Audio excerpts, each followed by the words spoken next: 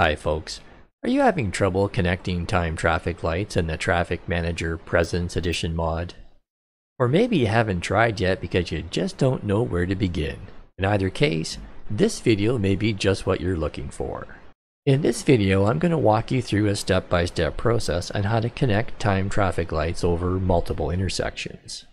Now, if you don't already have a basic understanding of how to use time traffic lights function in the Traffic Manager President's Edition mod, I highly recommend you watch one of my previous videos titled How to Use Timed Traffic Lights 7 Easy Steps. The link for that video should be appearing right about now in the top right hand corner of this video. That video will bring you up to speed on the basic principles on how to use time traffic lights.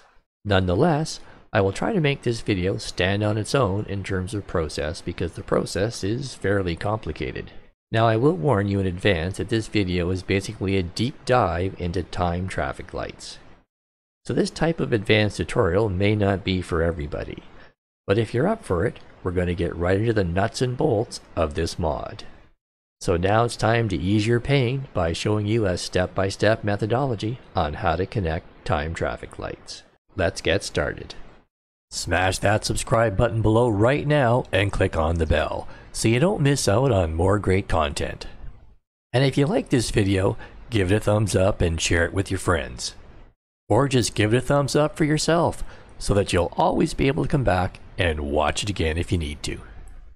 First of all, we need to select a group of intersections that have the potential to be improved by A. having time traffic lights, and B. having those time traffic lights connected or synchronized to use another term. As I mentioned in my previous tutorial, not all traffic problems can be solved by using time traffic lights. However, time traffic lights can be useful in resolving long queue lengths, turning movement conflicts, pedestrian conflicts, or any combination of these problems. So why even bother trying to connect time traffic lights? The reason is to solve a specific traffic congestion problem. So what we are looking for is a group of signalized or unsignalized intersections where collectively we have a traffic snarl-up that can be resolved or at least improved by connecting or synchronizing time traffic lights. A collection of intersections where the traffic backs up and never really clears would likely be an ideal candidate for connecting time traffic lights. But it could also be a group of intersections where traffic flow can simply be improved by connecting the lights.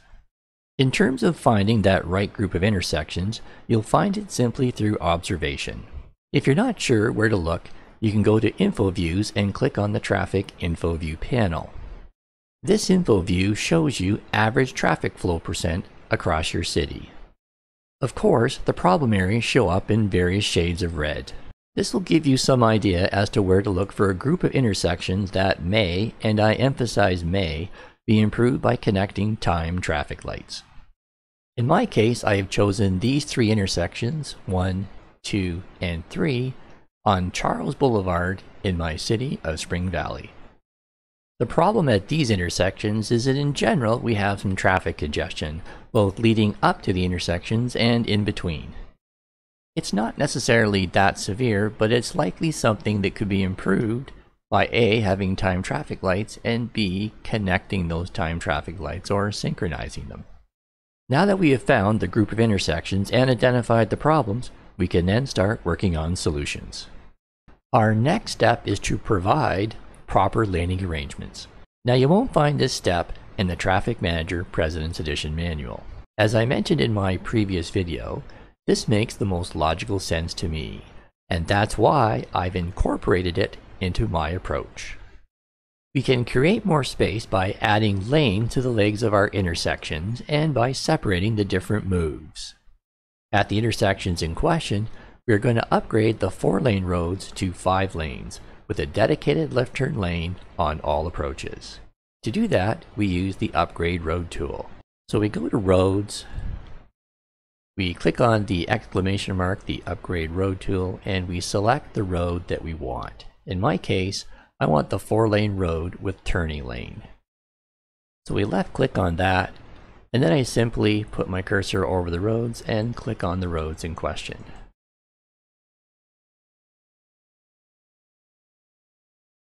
And in all cases, I'll go back to at least the next intersection beyond the ones in question.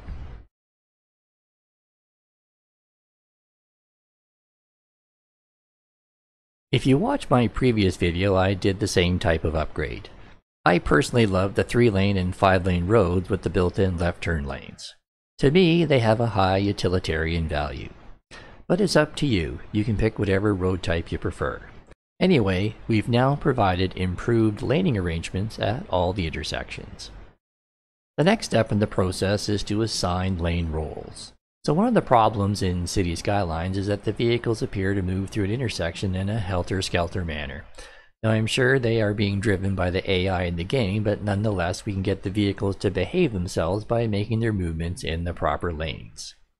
And ultimately get the vehicles to move in a more realistic fashion. To accomplish this, we're going to use the Lane Connector tool. In my mind, the Lane Connector tool is superior to the Lane Arrows tool in the Traffic Manager President's Edition mod. The lane connector tool forces vehicles to use the lanes you have assigned to them and will automatically change the lane arrows anyway. So let's do that now on all the intersections.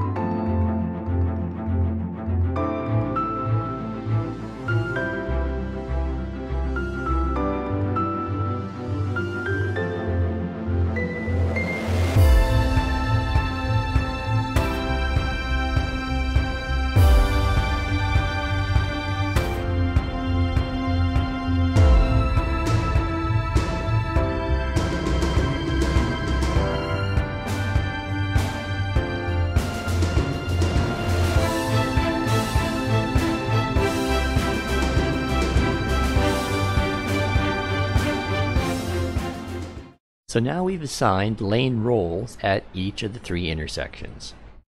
So now the vehicles will use proper lanes when making their movements and that will help reduce congestion. So the next thing we're going to do is set up a time traffic light at one intersection. And we do that by clicking on the Traffic Manager President's Edition mod and going to Timed Traffic Lights. And we select that intersection. And we add a step. Now the first thing I'm going to do is hit the change mode button three times on all three legs so I get three sets of signals pop up. And that way we have signals to control all the movements. I'm going to put each of the pedestrian signals on manual and red because we'll set up a separate cycle for just pedestrians only. And that way the pedestrians won't be in conflict with the vehicles.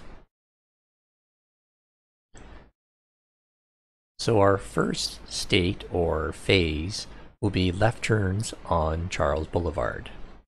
The left turn would be green and green, and essentially those are advanced greens. And we'll give that 3 to 6 seconds. And we add that step.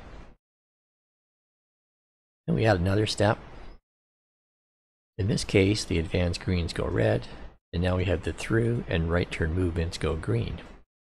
And since we have a lot of congestion on Charles Boulevard, I'm going to increase the min and max times. I'm going to increase it from a minimum of 9 to a maximum of 25. That may be overdoing it, but let's give it lots of time for those vehicles to clear. And we add that step. Then we had our next step. They go red. They go red. And then we do our advanced greens on the opposite legs. Uh, here we only need 3 to 6 seconds, so we'll do that.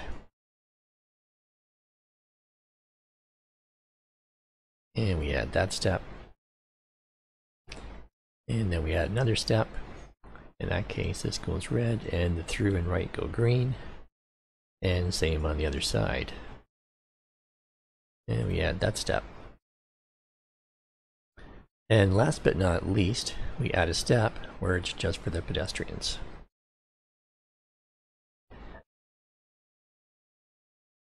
So the pedestrian signal heads all go green, and the vehicle signal heads are all red. In 3 to 6 seconds should be enough, and we add that step. So just to review, our first step is our advanced greens. And actually I go to edit mode. Our first step is advanced greens for 3 to 6 seconds. Our second is the through and right turn movements on Charles Boulevard for 9 to 25 seconds. Save that. Our third movement is the left turns on the opposite legs. Save that. Our next is the through and right turn movements on the opposite legs. And last but not least is where our pedestrians walk. And I'll hit start. And show counters. So what we'll do is we'll let the game run for a little while. We want to make sure that this light cycle pattern we've set up is what we want and has a desired effect. And we want to make sure we have what we want before we start copying and pasting onto other intersections. It just saves a lot of work if we do it this way. So I'll let the game run for a little while, and we'll come back and see how our intersection is doing. Well, I think things are running about as smoothly as we can get them. I probably could extend the green time on Charles Boulevard a little bit more, but I don't want to make it too much, otherwise the vehicles will start stacking up a lot more on the uh, opposing legs. So now that we have the desired light cycle pattern that we want, now we can copy and paste onto the other two intersections. So the next step is to take the desired light cycle pattern we've set up on the first intersection and add it to the other two. So to do that, we first hit stop. Now there's two ways to do this. One is to add a junction to this traffic light, and the other is to essentially copy and paste. Now, I highly recommend you use the copy and paste feature. I've used the added junction to this traffic light. It's a lot of work, it's tedious, so I just, I don't even want to go there. I, my recommendation is just copy and paste. That first you set up the desired light cycle pattern that you want, and then we're going to copy that identical one onto the other two intersections. So let's do that now. So we hit copy, we go over to our second intersection, and now our desired light cycle pattern is copied onto this intersection. Now we hit copy again, and we go over to the third intersection, and we left click with our mouse, and again, now we have the identical light cycle pattern copied onto this intersection. And then we hit start.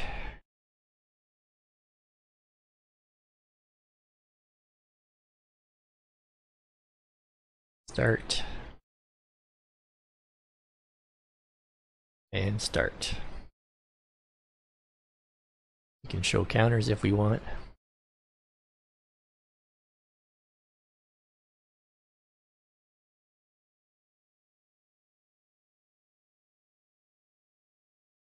There we go.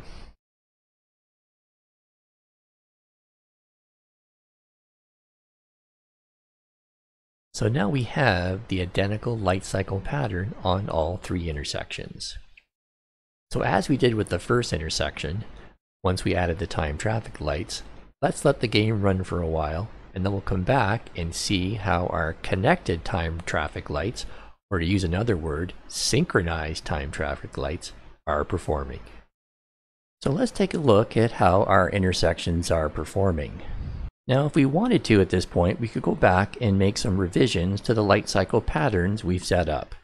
Just remember, you would have to individually revise a state or phase on each of the intersections at this point now that the time traffic lights have already been copied and pasted.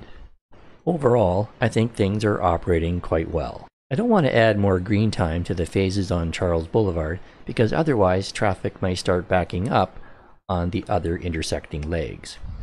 So I think we've done about as much as we can do in terms of connecting or synchronizing our three sets of signals to minimize traffic congestion on Charles Boulevard.